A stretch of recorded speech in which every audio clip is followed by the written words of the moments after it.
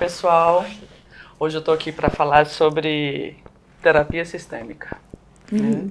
Dentro do projeto sobre falar sobre os tipos de terapia, eu estou com dificuldade nesse falar sobre falar, mas não repara não. A gente vai falar sobre a terapia sistêmica. As pessoas conhecem pouco e hoje tem uma convidada aqui especial, que é a doutora Maria Isabel Pérez. Ela não gosta de chamar ela de doutora não, então é só Maria Isabel Pérez, aqui do Instituto AME, que vai estar tá falando sobre esse assunto, para que vocês conheçam, para que vocês vejam as diferentes possibilidades que a gente tem no processo terapêutico. Maria Isabel? Olá!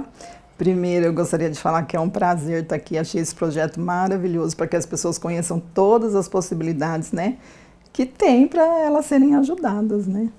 E falar de terapia sistêmica para mim é uma coisa muito maravilhosa, porque eu amo. Eu falo que eu nasci sistêmica. porque eu sempre, desde pequenininho, olhava aqueles adultos discutindo, brigando, e falava, gente, não tem um jeito melhor de resolver isso. Então eu tenho a imagem minha pequena falando assim, gente, que, que né? Que que é isso? Porque essa bagunça. Pra que essa bagunça? né? Todo mundo se gosta e, e cada um brigando desse jeito.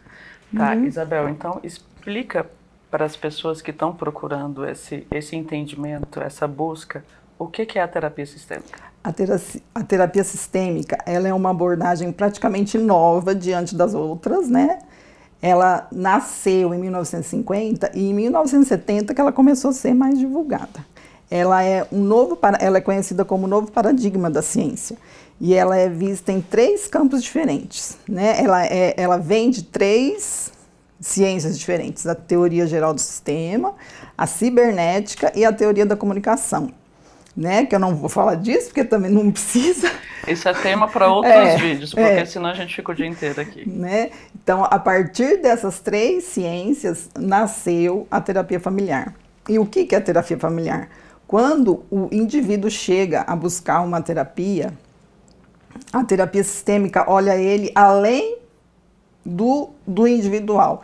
Ela olha além do intrapsíquico dele, ela olha dentro do sistema o que, que o sistema familiar dele está causando isso. E o que, que é sistema? Sistema é união de elementos, né? São pessoas, são elementos complexos e interação. E o que, que é uma família? Uma família é um complexo, né? É um Bem sistema complexo. complexo, né? Então, a partir desse, desse olhar, a gente consegue olhar ele dentro das relações deles. Porque às vezes, vamos supor, o paciente chega aqui com uma crise de ansiedade, né?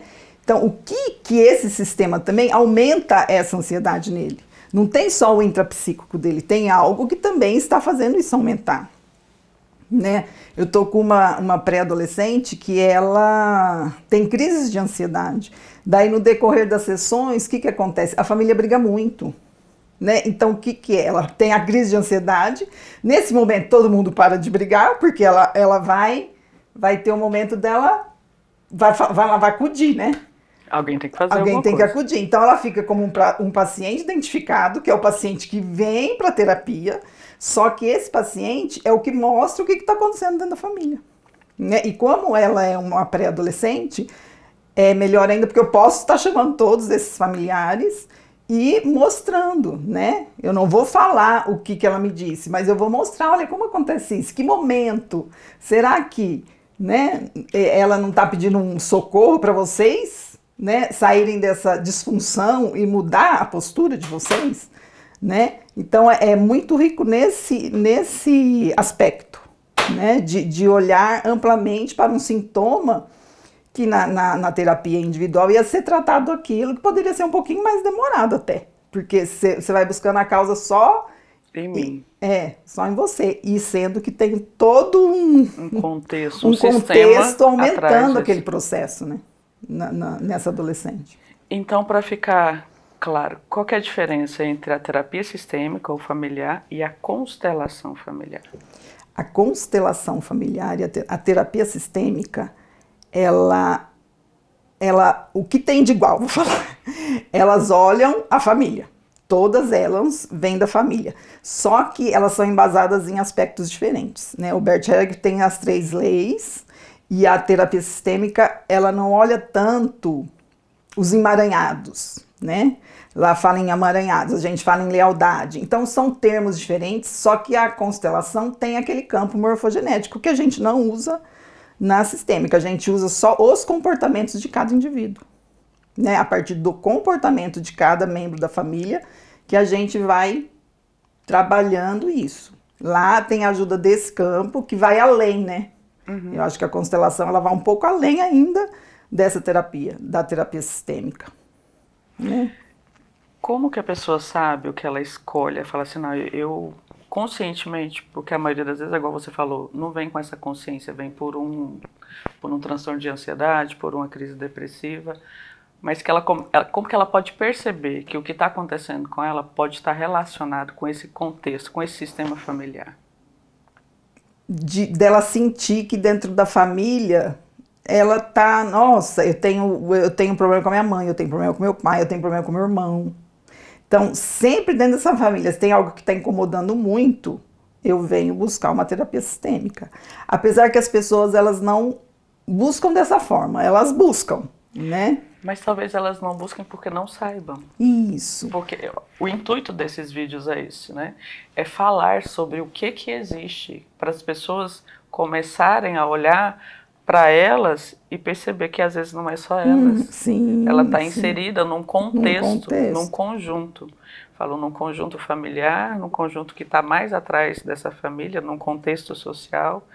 Então, a partir do momento que a gente começa a falar sobre isso, começa a divulgar, elas vão começar a se perceber com esses pontos. Se eu estou tendo problema com todo mundo, Vamos procurar uma Vamos coisa procurar, que seja é. sistêmica. Seria mais ou menos assim? Mais ou menos isso. Sempre que tiver um problema com o filho, um problema de casal, um problema de relacionamento, hostilidades dentro da família, se você for procurar uma terapia sistêmica, vai ser visto isso de forma mais rápida, né? Eu sei até por porque eu já fiz terapia sistêmica muitos anos e terapia individual muitos anos. Então tinha conteúdo que eu percebia que era sistêmico, que quando eu levava não ia, não tinha o mesmo resultado, né? Que, que, que o resultado de que eu tinha na sistêmica, entendeu?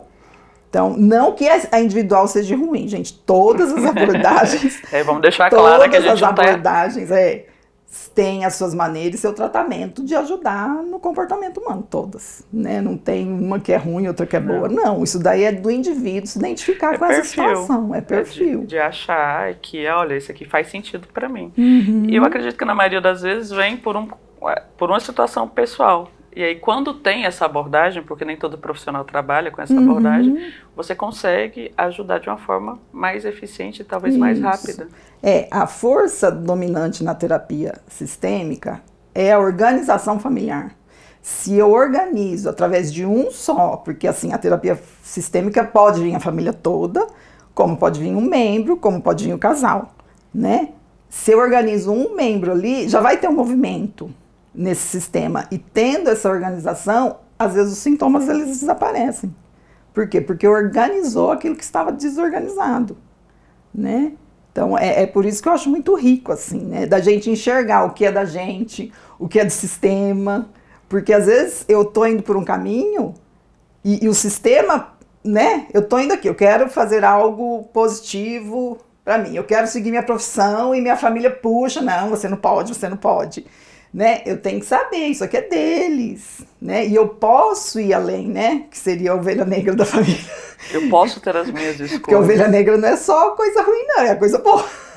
Ele vai além daquilo que o sistema ali não acredita, tem suas limitações, tem, né? Por criação, por, por bases, né? Isabel, é, eu atendo muitos adolescentes, e acredito que você também. Não sei se é uma percepção sua mas o adolescente ele traz muito o contexto uhum, familiar. Uhum. Só que a família tem dificuldade de aceitar que esse adolescente está adoecendo. Uhum. Eles eles me falam assim, meu pai acha que é só para chamar atenção. É desse jeito. Você tem essa percepção? Tem, sim, ele sempre vem com essa, meu pai acha que é chamar atenção, eu não posso falar. Eu não posso falar o que eu sinto, eu não posso falar o que eu penso. Então, esse, essa, esse indivíduo, né, esse adolescente, ele está falando, meu sistema não está funcionando de forma adequada.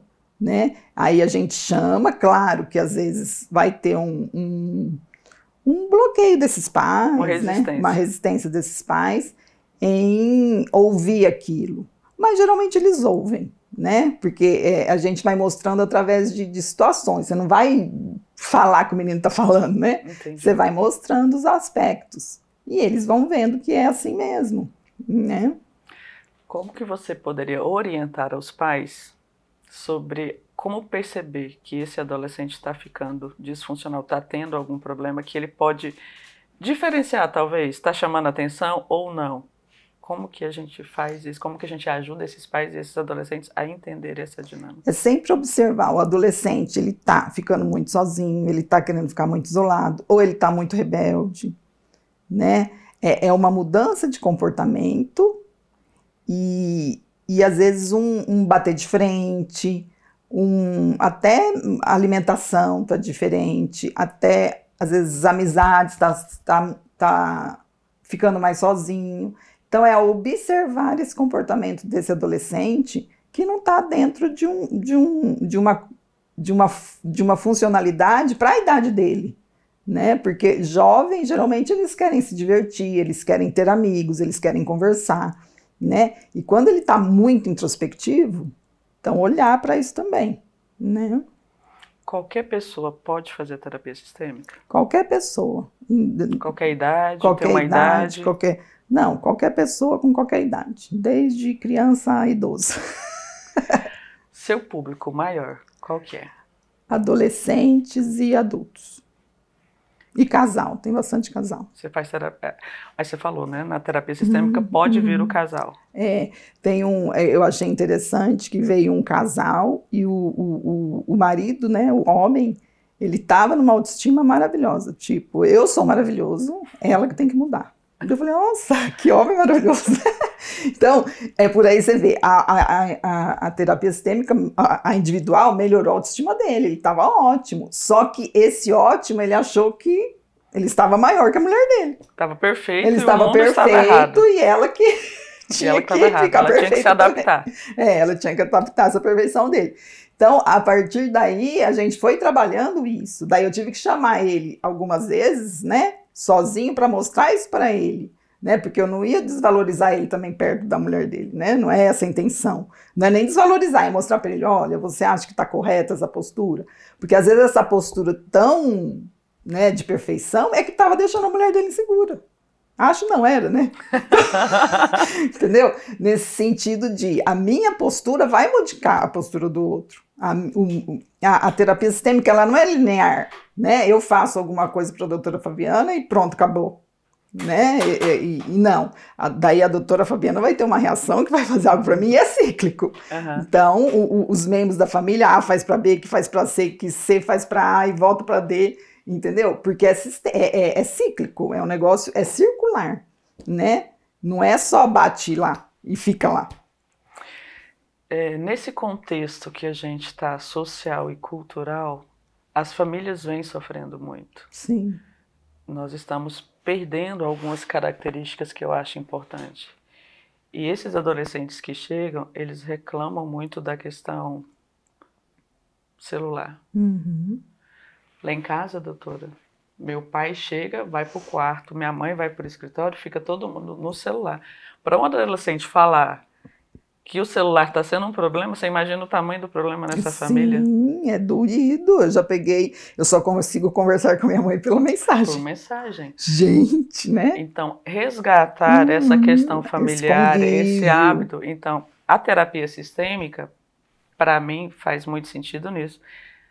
Está adoecendo não é só o indivíduo, a família, A família, está adoecida. isso. Então, olhar para isso, conhecer Uhum, que uhum. existem profissionais, que existem uma forma diferente para a gente olhar para essas famílias. Tanto é que as famílias estão se desfazendo. Uhum. Por, por motivos, às vezes, pequenos, que não é motivos, né? Que se a gente conversar, sentar, discutir, o diálogo é muito importante, né? E a gente tem, né? não tá tendo. Por uma frase curta de WhatsApp. Uhum, uhum. Então, olhar para isso. Acho que a terapia sistêmica vem para esse resgate, para que a gente possa falar sobre isso, para que a gente possa estar informando. Sim, sim. E isso é, é muito rico, né? De, de você poder é, ter esse aspecto de organizar uma família, de verem eles né, crescendo, conversando. Eu já peguei família que falou assim, gente, a gente nunca falou sobre isso. Então eles vão e, e vão tendo mais intimidades, né? Eu sempre falo, família tem que almoçar uma refeição, pelo menos todo mundo junto, sem celular. Hoje Não. tem que pôr ainda essa frase, sem celular. É, eu falo assim, os momentos que a gente tem hoje na correria do dia a dia são tão poucos familiares Será que a gente não consegue ficar 20, 30 minutos uhum, sem o celular? Uhum, sim. E consegue, né, gente? A gente já viveu muito sem celular. Pois é, parece que tem séculos que o celular existe, então é uhum. é muito recente. Só que rapidamente, do mesmo jeito que a tecnologia vem, que eu falo que a tecnologia veio para somar, a gente precisa pontuar isso, porque está adoecendo. Está adoecendo. O indivíduo está adoecendo, a família está adoecendo, uhum, a sociedade. Isso, saber um que existe isso para ajuda, né, mas que isso também atrapalha em excesso. Tudo em excesso vai dar uma atrapalhada, né? É todos os excessos, uhum, para o bem ou para o uhum, positivo ou para o negativo. Uhum. Isabel, traça para mim um paralelo assim da, da terapia sistêmica, eu sei que você faz outras terapias também. Como que você diferencia? Qual que é o diferencial? Acho, não sei se eu consegui me explicar. Cognitivo comportamental, é, constelação. Qual que é a vantagem, além de olhar como um sistema todo? É, Qual é, é um perfil que fala assim, não, você vai fazer cognitivo? Porque o meu perfil de trabalho é assim, eu quero que o paciente, que as pessoas saibam todas as opções que ela tem. Uhum. E que ela possa escolher uhum. o que uhum. faz sentido para ela. Então, o objetivo do projeto é esse, é falar, desmistificar o profissional, o terapeuta, o psicólogo, o psiquiatra. Porque a gente está adoecendo de uma forma por desconhecimento, por não saber que tem, que existe opções e que você pode olhar para isso de uma forma diferente. Uhum. Não precisa adoecer para a gente procurar ajuda. Sim, sim. É, a, a, terapia, eu acho assim que todas as terapias têm suas, suas qualidades, né, suas riquezas. A sistêmica, eu gosto muito dela por esse olhar que abrange mesmo, por essa a, a, e outro, o terapeuta ele entra dentro desse sistema, ele não fica como um, um profissional que está acima e sabe mais que o cliente. Não, quem sabe é o cliente, quem sabe da vida dele é ele, é ele que vai dar as respostas. Então a gente entra dentro desse sistema para organizar. Então eu, eu desço desse lugar de, né, de eu sei tudo e eu tô aqui para te ajudar. Não, a gente vai junto nesse processo, de, de, nesse trabalho de organizar esse sistema. E, e, organizando, eles vão vendo também, né? Eles vão se percebendo no que o comportamento deles também gera aquele comportamento nos pais ou nos irmãos, né? Por quê? Porque assim ele vai se autoconhecendo e se e tendo a responsabilidade de buscar seu caminho. Porque também é autorresponsabilidade, né? Sempre autorresponsabilidade de que eu faço isso, vai gerar isso, né? Não tem como. É, porque a gente sempre quer colocar a responsabilidade do sim, outro. Sim, sim. Porque é muito assim, ah, eu sou assim porque minha mãe fez isso, uhum. porque meu pai uhum. fez isso, porque o meu irmão é um chato, porque o meu chefe é um chato. Uhum. A gente tem a tendência, nós, de colocar a responsabilidade do que está acontecendo com a gente no outro. Sim, sim, e não, né? Assim, eu falo, a criança até é vítima, mas a partir do momento que você já sabe, né, se colocar, se, é, é, entender as coisas, a responsabilidade é toda sua. Né? Eu posso ter um pai e uma mãe que não é meu ideal de pai e mãe, porque tem isso também, né? A gente tem um ideal na cabeça do que mãe é, do que pai é, e tem os reais. Né? A partir do momento que eu aceito aqueles reais, eu vou buscar fazer o melhor de mim. Foi, né? Pai e mãe faz o que eles dão conta, gente. Eles sempre fazem o melhor. Dentro da possibilidade deles. Né? Isabel, eu vou te pedir agora, veio assim, muito sobre é, essa questão que a gente fala e que aborda. Os nossos pais e os nossos avós fizeram o que puderam. Como é que a gente consegue, me ajuda, a que isso chegue de uma forma mais clara para o outro? Porque a gente tem muita tendência de culpar. Uhum. Como é que a gente consegue esclarecer um pouco mais para as pessoas? É, é olhando a história deles. Vocês é muito importante. Mãe, por que, que é assim? Como que era a avó? Como que era a sua história? é ter esse diálogo dentro de casa. Porque você vai falar, nossa, eu tô, é, eu tô é, feliz com tudo que meu pai e minha mãe me deu. Porque era muito difícil, gente. Eu vejo meu pai, né? Vou dar o exemplo da minha vida. Meu pai perdeu o pai com 12, 10 anos e já foi trabalhar. Quer dizer, ele não estudou, ele, foi, ele fez o primeiro ano, já foi expulso da escola no primeiro ano, que era safado, e nunca mais foi para a escola. E ele cresceu e virou um empresário importante dentro da cidade dele, né? Criou seis filhos, dando melhores escolas, deu oportunidade de estudo para todo mundo. Não foi todo mundo que estudou, mas tudo que ele não teve, ele proporcionou. Olha a vida que ele teve de carroceiro, de, de borracheiro, de tudo. Ele foi tudo, até virar vidraceiro e empresário dentro do vidro. Então, ele cresceu com a força dele, né? Com a força que ele pegou dos pais dele, que isso é importante e, da, e, e, com a educação difícil que ele teve, que minha avó era brava, minha avó morava com a gente, nossa, pelo amor de Deus, eu falo que ela criou seis filhos na rédea curta, era brava, né? Era espanhola, bem brava. E, e, e ele conseguiu vencer, quer dizer, o que ele deu foi muito mais fácil. A minha vida, comparada à vida dele, foi muito mais fácil. E a vida dos meus irmãos, obviamente. Como que a terapia sistêmica, ela vê essa questão? Porque tem eu tenho certeza que chega para você também. Doutora, eu tô percebendo que eu tô repetindo a mesma coisa que a minha mãe fazia e eu não quero isso para minha vida. Me ajuda. Uhum. É, a gente chama isso de lealdade invisível, né? E essa lealdade, a partir do momento que você toma consciência dela, você consegue ir mudando. Agora, por amor, tem umas coisas que a gente não muda. né? Mas pode ser coisa mais não claro. precisa ser coisa difícil, né? Eu tô num relacionamento, minha mãe tinha um relacionamento difícil com meu pai, eu tô repetindo isso, então vamos trabalhar isso. Você não é sua mãe, você, seu marido não é seu pai. Então vamos lá fazer, eh, né? Daí a gente faz exercícios, vai, vai perceber exercício dentro do consultório, a gente vai percebendo e mostrando para a pessoa isso, para ela conseguir, porque daí vem pro racional, né? Tá inconsciente. Apesar que ela chega, ela já tá consciente disso. Só que ainda os comportamentos vêm né, vem inconscientes. Então a gente vai trazendo isso cada vez mais pro consciente para ela, opa, não, eu quero ir por aqui. Então vamos falar da, do relacionamento. A maioria das mulheres, principalmente, que é, eu falo que as mulheres vêm mais do que os homens para os processos hum, terapêuticos. Sim, sim, né? bem mais. O homem tem mais um bloqueio, mais um, uhum. uma dificuldade, porque eu falo que o homem foi criado para não pedir ajuda. Ele tem que ser forte e dar é, conta. Ele tem ser forte. Então, para mim, é um dos motivos que ele vem menos, mas vem também. Uhum. Doutora, eu todo relacionamento meu é desse jeito. Eu tenho o dedinho ruim e escolho sempre a mesma coisa. Uhum. Então, tem que ver o que, que você está honrando aí, o que, que você está sendo leal aí. Então, esses comportamentos repetitivos um são lealdades. Sim, são lealdades. E às vezes um boicote para você ficar né? Se você saiu, ficou muito diferente do sistema, você vai querer ter alguma coisinha parecida com o seu sistema. Ah, por lealdade eu tenho que ter o um pezinho. E o que eu escolhi um foi o dedinho. Né? O que, que eu observo? Família que todo mundo é médico. Daí tem um que não é médico, ele casa com uma médica. Entendi. Entendeu? Então tem uma, umas lealdades assim. eu não fiz o que todo mundo quis, mas eu vou lá e. Para não desagradar. É, para não desagradar tanto, porque senão eu sou muito desobediente. Não posso desonrar tanta né? família. Né? Então é, é, terapia, gente, é autoconhecimento, porque você se conhecendo, você vai conseguindo ver. Pera, gente, de novo, tô indo aqui nesse buraquinho, deixa eu dar volta, né?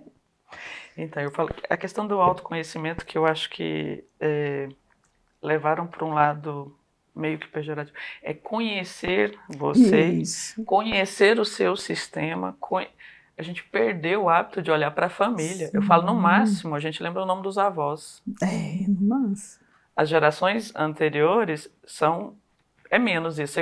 Uhum. Acho que tinha acho não, né? Tinha pouca tecnologia, as pessoas conversavam. Uhum. Então falava-se dos avós. Hoje a gente está perdendo isso. E para mim é um dos motivos que a gente está perdendo o contexto. Sim. Quando você fala assim, é, o seu pai pegou a força da família, só que agora, como é que são os pais de hoje? Uhum. Os filhos vão pegar o quê, Isabel? Uhum. Como que você isso. vê isso? É, eu vejo os pais hoje, eles estão muito... É, eles deixam muitas crianças. Eu não sei se é culpa, né? Parece que é uma culpa de tanto que eu trabalho. Isso. Então eu vou chegar em casa, eu vou. Deixa o menino fazer o que ele quer. E no menino não quer fazer o que ele quer, gente. O menino gosta de firmeza, gosta de ouvir não, porque ele sabe que tem amor ali naquela educação. Ele sabe, meu pai está fazendo isso, ou minha mãe está fazendo, por isso que ele me ama. O inconsciente dele sabe disso. Né? Ele vai chorar, vai espernear, espernear vai mas ele, ele quer que o pai dele e a mãe deles veja eles, né? E, e, e esses adolescentes não estão sentindo que são vistos, né? Porque eles são supridos com outras coisas que não é o afeto, que não é a qualidade de tempo. Eu falo assim, você pode trabalhar muito, mas fica ali com seu filho meia hora, entendeu? É, senta com ele, conversa. Vai ser maravilhoso. Vai, tem que buscar alguma coisa, tem que leva ele junto, né? No final de semana, tem que resolver alguma coisa de casa, leva o filho junto. Inclui, né? Inclui. Hoje está muito segmentado. Você vai é. lá, você. E assim, ah, não. A criança fala, não, não vou, não, tá, não vai. Tá, fica aí. É, fica aí. Mas é, se puxar, vai ser divertido ali naquele lugar também. Porque a gente consegue fazer divertido. Se eu tô querendo a presença do meu filho, é porque eu, é gostoso estar com meu filho. E mostrar isso para ele. Né? Eu vejo os pais muito inseguros nisso. Ni, ni, o filho fala não, ah, tá, aceito não. Porque eu também não tô inteiro. Eu mesmo, como às vezes pai, mãe, não estou inteiro para falar para meu filho, não, filho, mas eu quero estar com você. Né? É seu filho, o que, que tem a falar isso? Parece que é difícil. Então, talvez eu possa dizer assim, com essa postura que nós pais estamos tendo, a gente está tirando a força desse filho tira a, a, força a gente tem que acreditar nela também, né? É uma coisa do coração, desse amor, né? Mas a gente tira porque fala, meu pai não tá nem aí para mim. Eles sentem como se não tivesse aí, não é? Eles sentem como rejeição, eles sentem como abandono, né? Já ouvi muito, não, meu pai não tá nem aí para mim, se eu ligo, se eu não ligo, assim, né? Às vezes até filhos de pai separado, se eu não ligo, se eu ligo, ele não tá nem aí, não é isso. Porque eu vou contactar com esse pai e eu sei que não é isso, né? Então, daí vai, vai se trabalhar isso, né? Depois com, com, o filho, né? E eu percebo também que antes a gente via muito isso na questão do, dos filhos de pais separados. Os divórcios a gente percebia muito isso, era uhum. claro. Só que está chegando muito de pais que não são separados. Que não são separados. Os pais teoricamente estão juntos, mas essa família está disfuncional. Uhum. E a dor não é muito diferente do filho não, separado. Não, é diferente, porque às vezes esse pai não consegue conversar com o filho. Né? E, e isso para o filho é muito dolorido. Porque, de novo, a gente vai dar uma repetida na, no que meu pai fez comigo, no que minha mãe fez comigo. Então, quando a gente toma consciência disso, a gente consegue fazer diferente. Se a gente toma consciência disso, eu reclamo do meu pai e estou fazendo igual ele, eu não tô, né? Eu não tô tomando consciência direito dessa situação. Se eu sofri com isso, por que, que eu vou fazer igual? Né? Né? Então é falar assim, não, eu preciso de uma ajuda, né? Ter a humildade. entender isso. É. Alguém que me ajude uhum. a compreender e organizar e isso. Essa situação. Isabel, se deixar a gente continua aqui exemplificando e pontuando várias uhum. coisas. Mas eu queria agradecer demais sua presença, sua colaboração a sua parceria, a sua amizade nesse projeto. E eu Quero que agradeço. Que você deixe para as pessoas que queiram esse, esse processo para as famílias. Eu acho que aqui o pedido é familiar.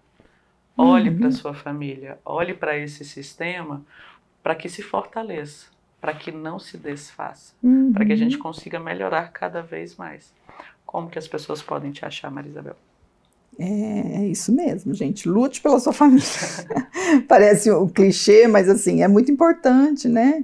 Porque você vai mudar de marido, você vai mudar de problema, você vai mudar de esposa. É a mesma coisa. Vamos trabalhar isso junto para ver onde que está disfuncional e, e, e, vocês vão crescer muito com isso.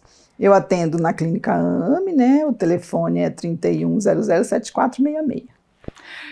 É, no final do vídeo eu vou deixar a descrição do que um resumo do que a gente falou sobre o que é terapia sistêmica. Vou deixar os contatos da Isabel, da clínica.